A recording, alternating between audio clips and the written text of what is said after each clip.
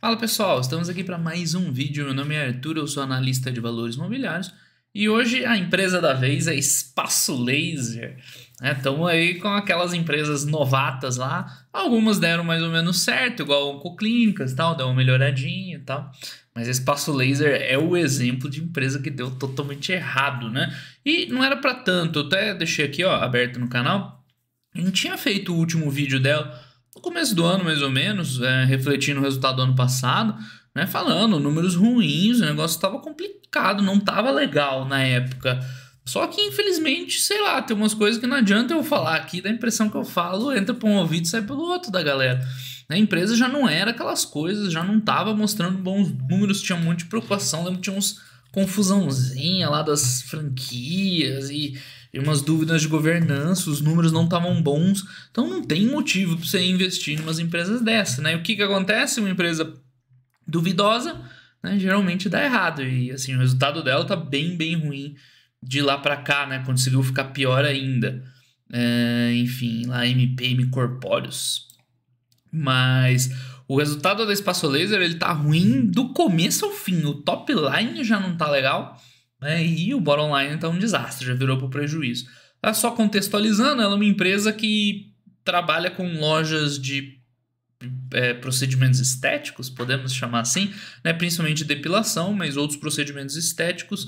Né? Tem um modelo basicamente de franquia, é um padrão assim em varejo, né? É uma, uma analisar uma operação de varejo como se fosse, sei lá, uma operação de loja de comida, Burger King da vida, é mais ou menos a mesma coisa. Você vai lá, abre loja, execução de varejo e tal, same-store sales. É um, a diferença é que um vende hambúrguer, o outro faz depilação, mas basicamente a mesma coisa. Então, assim, né, a gente vai vendo várias empresas desse tipo, e aí você vai entendendo como é que funciona. Quem são as empresas que geram valor com esse modelo de negócio? Empresa que consegue crescer com capex baixo, né? Seja franquia ou não, mas né, principalmente franquia, você consegue crescer com menos investimento. Que tem aberturas de lojas, isso é importante, mas fundamental, com saúde financeira, com rentabilidade. Então, geralmente você quer ver same store sales positivo. O que acontece? Uma empresa fica abrindo loja, abrindo loja né, com same store sale negativo, quer dizer que ela está forçando a barra. Ela está abrindo loja para crescer, crescer em volume, mas não um crescimento saudável. Então você vai ver, igual a gente vai ver aqui, quem é que a receita não acompanha, e aí os custos aumentam porque você está abrindo loja, mas a receita não acompanha, já toma a paulada no lucro bruto e vem descendo dali de cima para baixo, tá? Então, isso aqui você pode até comparar. Comparar não, né? Não é bem a palavra, mas tipo, olhar uma raia Drogazil da vida. A raia Drogazil gerou muito valor para os acionistas, muito mesmo na última década, com um esquema tipo esse, tá? Abrindo loja, né? crescendo pelo, inorganicamente com as aberturas, quer dizer, é orgânico, né? Mas enfim, crescendo com abertura de lojas novas, mas mantendo rentabilidade, crescendo de uma maneira organizada, mantendo o endividamento sob controle né, sale positivo e diluição de custos de despesa, evolução de resultado. Né? Ela roda com a margem ali no talo, mas gera muito valor para o acionista. E é tudo o que a Espaço Laser não conseguiu fazer nesse período, tá? Então agora eles estão com 700 lojas, a gente já vê a evolução. É, eles já começaram a meio que não conseguir abrir mais muita loja, porque né, a empresa está com a corda no pescoço. Então abriu 12 lojas, mas fechou 12 também. Eles têm uma expansãozinha internacional. É, não ok fazer uma expansão internacional, tentar ganhar mercados. O problema é que você faz isso geralmente quando você está indo bem, né? Quando você tem um modelo de negócio legal e rentável, aí você busca expandir. Mas no caso não é rentável, né? Então não sei até que ponto isso aqui é relevante. É mais uma distração. Ela poderia focar mais em melhorar os números aqui. Ou sei lá, as lojas do exterior que vão salvar a empresa. Não parece ser nenhuma dessas opções. Mas enfim, tá indo lá. Então o que acontece? A empresa cresce, cresce, cresce, aí você vai ver a receita subiu 1%, né? ficou flat. Então é exatamente o que eu falei, é uma expansão sem ser rentável, sem ser sustentável, e aí isso vai se refletindo em cascata ao longo dos resultados da empresa. Você coloca aqui um 12% de crescimento system-wide, system-wide seria tipo um sell-out, né? Porque tem franquias, tem joint ventures, né? tem tudo, então é a venda lá no último canal direto para o consumidor. Mas você vê que meia, ainda assim né, esse mix não é favorável para a empresa.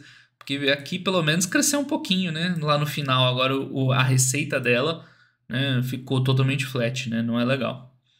Enfim, endividamento, a gente fala mais disso depois, que acontece quando uma empresa cresce, né, não, mas sem rentabilidade, está tendo prejuízo, o endividamento explode, a gente já vai falar disso, tanto que né, chegou uma das consequências que é pior para os acionistas, que é o aumento de capital. Então, quando a empresa vai mal das pernas, não está bem, endividamento, endividamento aumenta, chega uma hora que não tem outro jeito a não ser né, emitir, fazer um aumento de capital, e aí aqui começa o, o, o, né, o penhasco. Quer dizer, o acionista já estava perdendo muito dinheiro antes com a empresa, mas quando ela entra né, nesse de aumento de capital para tapar buraco né, de operacional ruim, cara, isso aqui já é complicado, né? Todo mundo conhece, não precisa falar, IRB, Oi, tal, N exemplos CVC, N exemplos que a gente tem aí no mercado, tá? É, que ia falar? Ia falar alguma coisa aqui do aumento de capital, tal, enfim, já foi. Aumento de capital, preços muito baixos, né? Você dilui acionista, quase não entra muito dinheiro, vai ver 200 milhões, não é o que vai salvar a empresa. Então, daqui em diante começa a ficar muito complicado. Enfim, receita, aquilo que eu falei, não anda, mesmo a empresa crescendo, isso não é nada bom, tá? E os impactos a gente já vai ver depois, foi né, péssimo em lucro bruto, em EBITDA, em prejuízo, né? Veio bem ruim.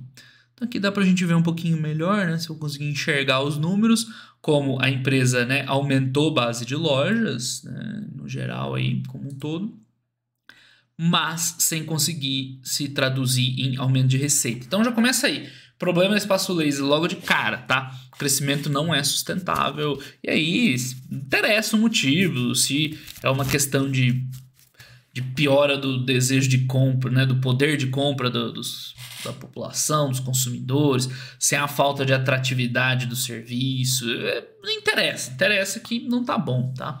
Isso aqui tinha que estar, tá, no mínimo, crescendo, acompanhando a evolução no número de lojas. Então fica muito difícil. Já assim, nem tem porquê. Eu vejo que o pessoal foca muito. Não, mas é, depilação, isso, aquilo. Cara, quando o número só cai, não tem muito que você ficar inventando e tentando entender o que aconteceu. Tá caindo. O serviço não tem apelo, seja lá qual for o motivo. Né? Então já começa com um problema muito grave. Você vê same store sales negativo, que é péssimo. Eu já tinha é, chamado a atenção disso no vídeo lá do ano passado, do começo do ano, né? Que não era legal. Enfim, no final das contas é isso. A receita quase não sai do lugar, muito ruim. Lucro bruto começa a cair, porque quando você abriu tantas lojas lá, 10%, mais ou menos, mais de 10% no aumento da base de loja, não tem como não aumentar os custos, é impossível. Você está aumentando o tamanho da empresa. E aí, se a tua receita não cresce, creu, né? Lucro bruto já cai bastante, já perde ponto de margem, 6 pontos de margem pesado, aí o EBITDA perde mais ainda, né? Porque tá caindo o lucro bruto, você dificilmente consegue cortar a despesa operacional, né? Você no máximo mantém, aí margem EBITDA despenca mais ainda. Aí para piorar, você tá com dívida, tem resultado financeiro, porque o aumento da custo da dívida tá pesando para todo mundo, aí vira prejuízo, né? Então, é o, a desalavancagem operacional perfeita aqui, né? E exatamente o contrário do que a gente viu ontem no Oncoclinics. Né?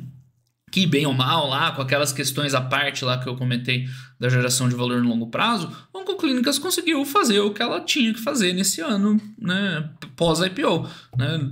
Entrou a grande IPO, fez as aquisições que deveria. Olha as diferenças. Oncoclínicas cresceu a receita 70%, né, que os caras não saem do lugar. Tudo bem, não precisava crescer 70%, né, mas evoluir. Teve ganho de margem bruta, ou seja, as aquisições que ela fez foram saudáveis, né? Enfim, tem trabalho de economia de custo, mas no mínimo foi saudável, comprou coisas legais, boas, tal, refletiu no aumento de margem. Aqui, queda expressiva dos pontos de margem. Né? O lucro bruto cresceu mais do que o aumento de despesas lá, porque foi uma expansão saudável. Aqui, né, o lucro bruto caiu, na verdade, né? Nossa, o lucro bruto caindo e as despesas aumentaram. Então, o impacto no EBITDA foi violento. E no final das contas, para fechar com chave de ouro, né, resultado financeiro comeu tudo que tinha de operacional, mesmo operacional fraco foi todo consumido, enquanto lá o resultado financeiro também pesou não com clínicas, por quê? Também fez dívida pelas aquisições, o custo da dívida subiu para todo mundo, só que como o operacional andou bem, né, mesmo o financeiro comendo, o resultado sobrou um lucro bom até, aqueles 50 milhões lá não é ruim. E aqui foi tudo desastre logo do top line. Então, legal fazer essas comparações, uma empresa tem nada a ver com a outra? Uma faz tratamento de câncer, outra depilação. Mas a análise, isso que eu tento passar para vocês nos vídeos aqui. A análise de empresa, pessoal, independente se a gente está falando de depilação, de hambúrguer, de Apple, é entender como as empresas ganham dinheiro, certo? Isso aí não muda, então dá para a gente fazer umas comparações sim, tá? Enfim, mensagem da administração, trocando gestão, né? Chega uma hora que tem que tentar qualquer coisa aí, troca o cara lá, troca o fulano aqui. Vamos ver o que, quais são os projetos. É, revisão do modelo de remuneração, né, tentar né, receitar um pouco mais em cima das lojas, está precisando mesmo. Segmentação da precificação. É, eles têm que resolver tudo na empresa. O que, que precisa mudar? Tudo. Tá tudo ruim. Então começa lá no top line, tá certo? Né, tem que tentar ali tornar as lojas mais rentáveis, né? Seja que o problema é mix, o problema é marca, se o problema. Isso a gente não tem como saber e nem adianta saber também. Eles têm que dar um jeito de reclamar. Ou de reclamar, de melhorar. Aqui também trocaram gente né, do, do corporativo para baixo, que vai precisar né, melhorar, seja mais promoção no mar, alguma coisa eles vão ter que arrumar. Né? E aí o problema deles não é nosso, tá? Estrutura de capital, né? Eles conseguiram rolar um pouco a dívida, já teve um aumento de capital para salvar um pouco, já estava preocupante do ponto de vista né, até de liquidez da empresa. Então, já começa o CREO aqui.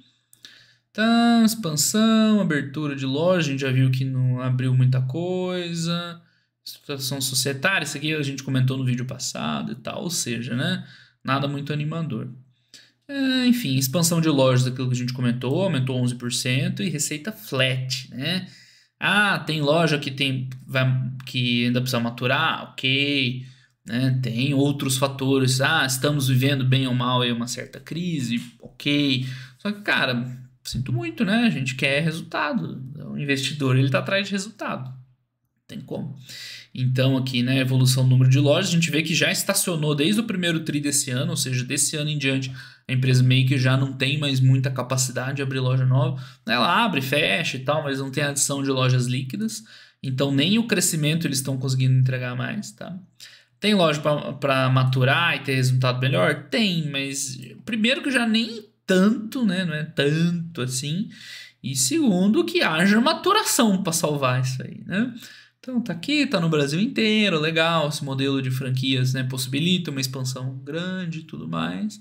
Só que, né, precisa dar dinheiro. O sistema Wide cresceu, same store sales caindo, né, no ano inteiro despencou. Foi pior no começo do ano, mas continua fraco, continua ruim. Tá? Uh, que mais? Ah, eles têm outras linhas lá, Estúdio Fácil, mas é pequeno, é bem pequenininho. Tem 10 lojas, faz muita diferença. E tá caindo. Aí começa a parte internacional, né? Não são operações grandes, né? 11 milhões de reais, tá? Vai lá, né? Aqui dá quanto? Dá 300? É pouco, né? Uh, poderia ser interessante tal para a empresa, mas como ela tá cheia de problema no Brasil, né? Não sei se é a melhor alternativa, mas tá lá abrindo loja, Colômbia, pequenininho demais. Né? Então nem ajuda, talvez atrapalhe. Enfim, Olhando do ponto de vista financeiro, aquilo que a gente já falou, a receita sim saindo do lugar é péssimo para quem está gastando com abertura de lojas, aumentando a estrutura e tal.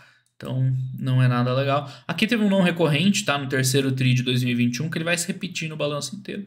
Tudo bem. Esse ajuste, esse ajuste aqui não tá errado, tá? Quando eu olhei, eu bati o olho, falei, porra, os caras já estão ajustando a receita líquida no primeiro. Mas é, enfim, né? É uma mudança, reorganização societária. Tudo bem, tá certo. Então, é o que a gente falou, né? Receita flat total e os custos não tem como não crescer está abrindo mais loja né então mesmo é, basear mesmo dividindo por loja ainda assim subiu o custo porque é meio que normal também você tem inflação você tem conta né subir o preço de energia blá blá, blá as coisas aluguel então, mesmo por loja, teve um aumento de custo. Né? Ainda foi modesto, tal, 5%. Só que aumentando o total de lojas, aí o custo total foi lá em cima. Né? E o que aconteceu? Com a receita flat, né? pressão violenta no lucro bruto. Quando uma empresa perde 6 pontos de margem bruta, assim, é pesado, velho. É difícil salvar no resto do balanço. Né? Então, já começa no top line os problemas, a margem caiu bastante, né? os custos aumentaram, que meio que mas assim, vocês têm que entender, o problema não está no custo ter aumentado, está na receita que não aumentou. para acompanhar. Porque a partir do momento que você abriu loja nova, e loja, tá? É um conceito, eu falo em todo o vídeo aqui, é um conceito amplo. Tá? Loja é tanto um negócio de depilação, como uma loja de, que vende hambúrguer, como uma farmácia é uma loja, como um laboratório de Fleury é uma loja, entendeu? É loja no conceito amplo desse modelo aí de varejo, tá? É, enfim, eu estava falando. Ah, o erro, o problema, ele não tá no aumento de custo. Isso aqui é esperado. Se abriu loja, aumenta o custo. Tá? O problema está na receita não ter acompanhado. É isso aqui que machucou. Tá? Então é ali que tem que atacar o problema. Enfim, que mais? Lucro bruto, ah, tem aquele ajuste lá de sempre, mas enfim, né? Tá aqui. Queda de lucro bruto, perda expressiva de margem. As despesas gerais administrativas, aqui a empresa poderia ter feito um trabalho melhor tá? De não crescer essas despesas, mas não conseguiu. Geralmente empresa ruim não consegue mesmo, né? Enfim, né? Aumentou o fortalecimento da estrutura. Esse é o ponto. Quando você está tomando ferro, você não fortalece, né? Você tem que tentar administrar os custos, né? E não é o que aconteceu. Está aumentando a despesa de marketing, tudo bem, só que não está se refletindo no aumento de receita lá em cima. Então tem um problema sério estrutural no negócio deles, né? O negócio não tá bom. Né? Então, esse aumento aqui ele já é bem mais preocupante que o aumento lá em cima no CPV. Né? Bem pior. E aí a desalavancagem operacional é brutal. Lembra de ontem, não com clínicas? Né? Aumentou as despesas gerais, mas como o lucro bruto aumentou mais ainda, essa, esse gráficozinho aqui, né? essa setinha, estava para baixo porque em relação à receita líquida, né, as despesas mesmo aumentando, representavam um percentual menor na despesa. Aqui é o contrário, né? boom, lá para cima. Tá? Então, fazemos ajustes lá, boom, 30% a mais. E aí, né, um caiu 10, né, o lucro bruto caiu 10, a despesa aumentou 30, olha o tamanho do estrago, tá? Aqui tem uma abertura, mas meio que não faz muita diferença, tá tudo subindo ferro para tudo quanto é lado. E aí o EBITDA é consequência disso, né? Despencou, perdeu muitos, muitos pontos de margem, né? Tem como o negócio estar tá saudável perdendo tanta margem assim, né? Uh, aqui tem ajustes de praxe, FRS 16 e tal. Mas o ponto principal nem é aqui, né? O ponto, a reconciliação aqui no lucro líquido, o EBITDA ajustado, você vê que, tirando esse lance aí das JVs e franquias, é nada muito relevante. Ou seja, o resultado tá ruim mesmo, não tem muito como escapar aqui, não tem de onde arranjar uma desculpa. A depreciação e amortização não é muito grande, né? Tem um modelo de franquia. Eles têm muito, eles estão com muita loja própria, né? não estou falando franquia, franquia, mas enfim, não é pesado em depreciação e amortização. E para dar a pá de cal, né, para terminar de selar o caixão, o resultado financeiro está muito ruim. Dívida aumentou, aumentou o custo da dívida para todo mundo, mas para quem está mal das pernas, o impacto é maior e o resultado financeiro aí comeu pouco EBITDA que a empresa tinha, levando a um prejuízo líquido, né? Aí é duro, velho, prejuízo. E assim, você tem empresa que às vezes dá um prejuízo que é assim, conjuntural, né? Tá, tem um momento, aconteceu isso, aconteceu aquilo, teve um prejuízo, mas a gente está ajustando. Não, aqui parece que é estrutural o prejuízo, né? Operações não tão boas, aquela receita que não sobe, e aí, você vai resolver como? É um trimestre que veio ruim? Não, tá fraco faz tempo. Os custos aumentando? Ah, foi um período especial de aumento de custos? Não, é o custo normal da empresa, então fica difícil. É, é essa a realidade da empresa, é o run rate da empresa, né? Fica difícil imaginar o que possa ser feito aqui para resolver. Vai ter que ser, tem que atuar em cada linha ali do balanço, melhorar a receita, né, de um jeito expressivo, tem que administrar esses custos, agora tá, tem que cortar, chegou num ponto que não adianta, lembra do, do, da análise do Twitter, que a gente fez um canguru na sexta? Né? O Twitter podia ir acomodando despesa ali, crescendo e tal. Aqui já chegou num ponto que já não tem como mais. Aqui tem que cortar. E aí, você vai crescer a receita como? Cortando despesa, né? Mas fica bem difícil. Uma meta meio quase impossível de fazer. Então, prejuzinho, Uh, fluxo de caixa também fraco, até fechou positivo, mas bem fraco. Isso aí vai, eh, nem contando com o CAPEX, né? Isso aqui é operacional e tá ajustado, sei lá para quê. Mas, né, contando com os gastos que eles estão tendo de abertura de loja, é uma queima de dinheiro, de fluxo de caixa livre, que reflete no aumento de dívida, né? Enfim, aqui, aqui tem um fluxo de caixa muito do estranho, tá? Porque eles estão levantando 85 milhões aqui, enquanto eles mesmos disseram que era 20. Sei lá qual que é o ajuste aqui que eles estão fazendo que não está batendo lá. Mas enfim, tá? É, de qualquer forma, não faz frente ao CAPEX. CAPEX, aquisições, ou seja, fluxo de caixa livre negativo. Quando você já está com a dívida lá no talo, né, é complicado. Tanto que, que ela está fazendo? Cortando investimento. Não tem como, não tem dinheiro mais. Então, esse é um momento que você não quer que a empresa fique. Empresa passar por dificuldade momentânea faz parte. Mas se ela tem a boa saúde financeira, ela continua tocando o negócio, uma hora dá uma melhorada, as coisas vão. Mas quando você piora a ponto de dívida saiu do controle, tem que fazer aumento de capital. Não tem dinheiro para fazer investimento mais.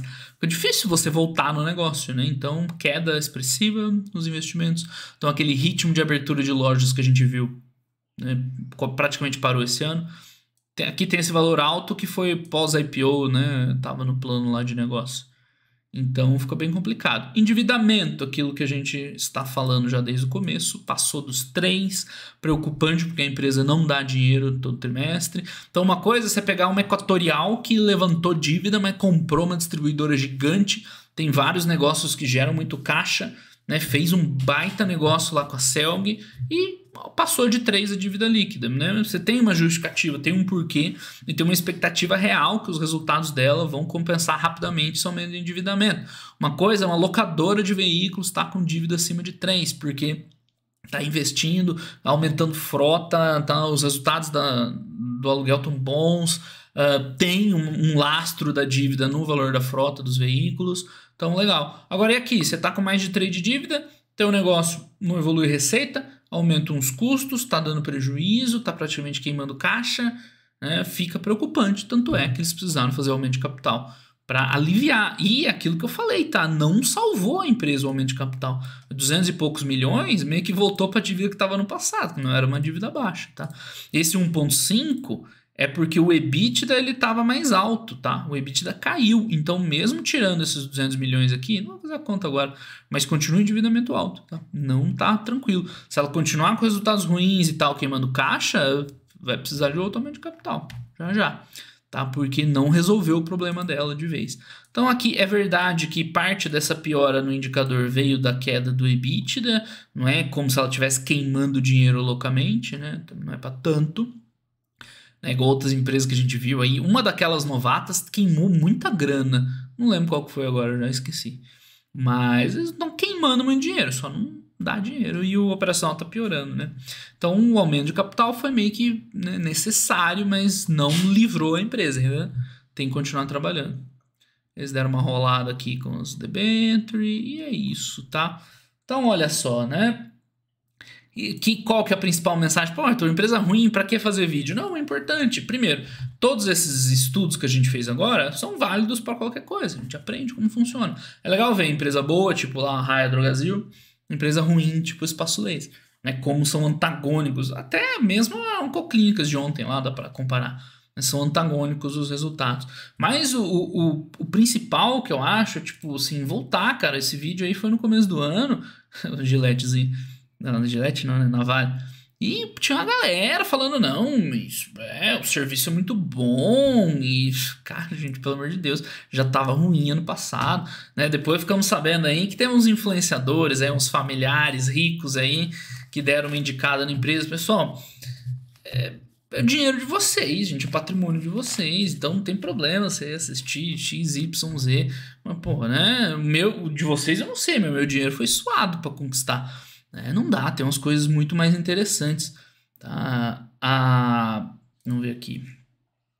Isso aqui foi, eu não sei se foi pré-IPO ou se a gente fez o vídeo no começo do ano, né? Ela tem um histórico aqui desde o comecinho de 21. De qualquer forma, né? Claro, não caiu tudo isso desde que eu fiz o vídeo. O vídeo é do começo do ano, vamos ver aqui. A gente consegue ver a data.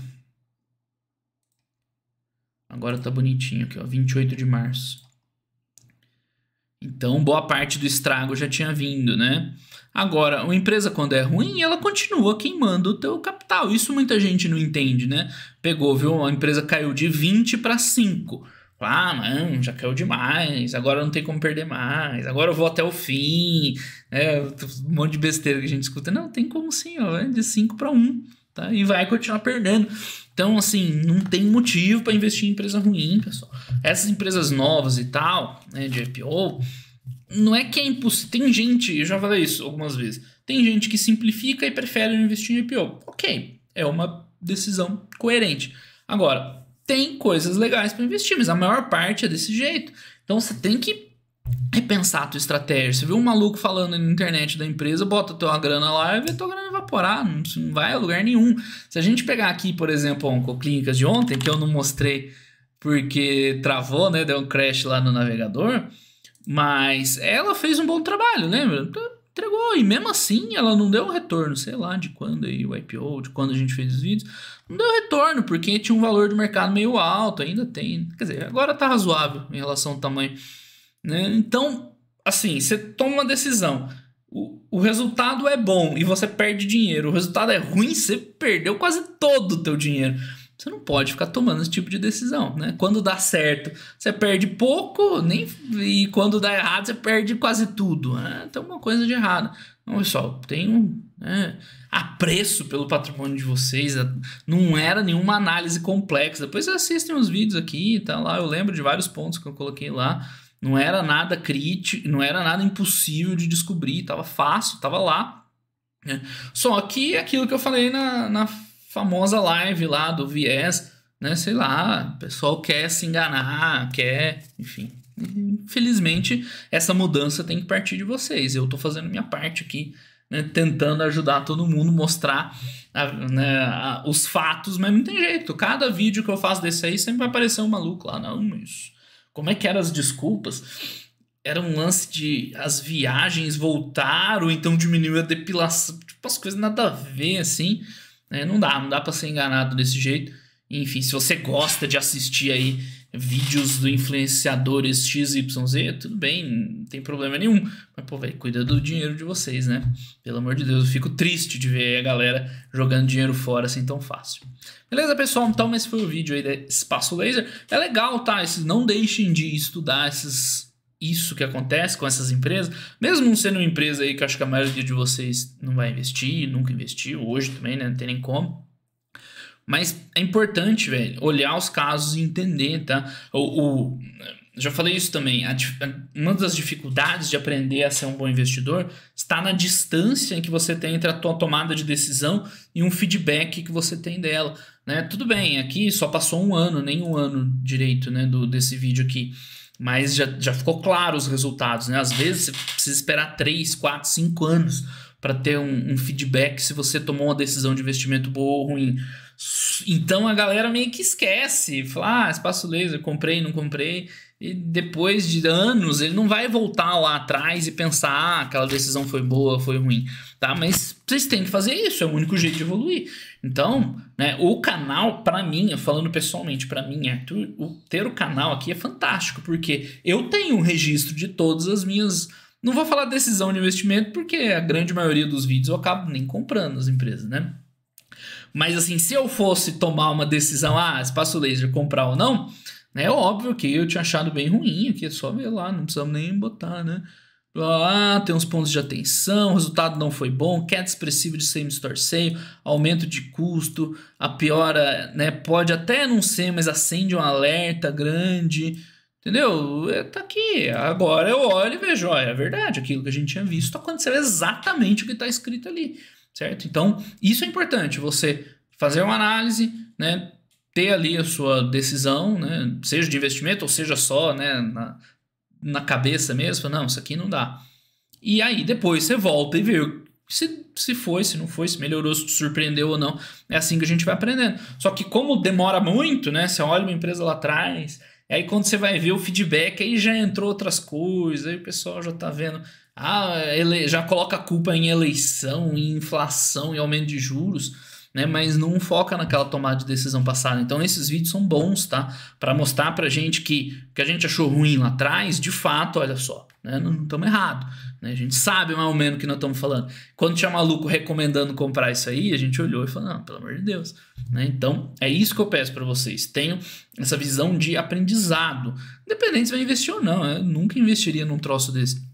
Mas é importante. Você, eu, a gente olhou lá atrás, viu o vídeo, analisou. O pessoal nos comentários, eu fui ver os comentários de novo. Desse tinha pouca gente. né, mais iludida. A maior parte viu, assim, ah, mas que argumento estranho, que conversa esquisita.